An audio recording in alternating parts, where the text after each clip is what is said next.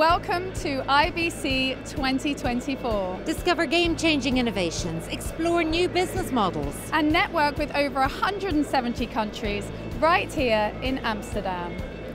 So, talking all things storage now with Ruben from Western Digital. How's it going for you? Very good so far. My pleasure to talk to you. And um, yeah, IBC is always great. Great show. You've been here uh, many times. Many, many times over the past couple of years, yes. So, talk to us about Western Digital and where you fit in in the media industry. Well, actually, that's um, uh, that's a good point. We actually fit in.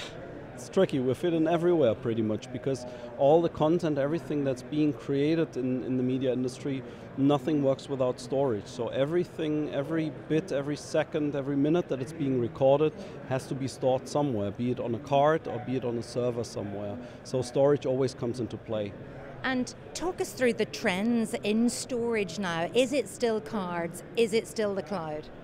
So, well, it's both. I mean, you record if you have a camera or smartphone or whatever recording device it, it is, even if it's a drone or an action camera, it always records on a card. So, cards are a big topic, and we have a couple of new products there. But obviously, stuff has to be stored somewhere further down the line and in the workflow. So we also have workflow products, but also we um, we do also have products uh, for data centers uh, where the cloud basically lives. And what exactly are you showcasing here?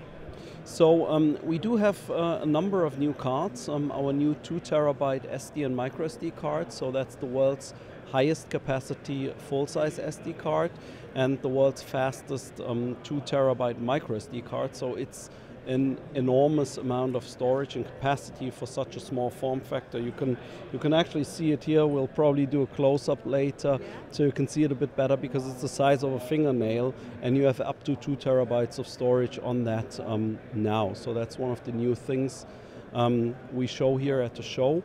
On top of that, we also have a new format um, which is called SD Express. That's the kind of next generation of cards, of um, micro SD and full size SD cards, and that basically um, is uh, the next level of performance. So you have three times the speed of the fastest cards you had so far. And in terms of people coming to the stand and hearing all about the latest developments, what's the reaction been?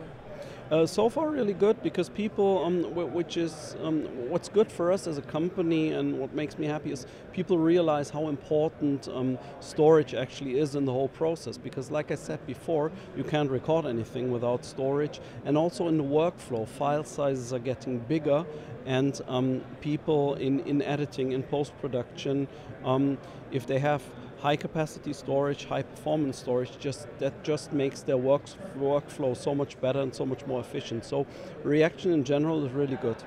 And in terms of the future, what's next?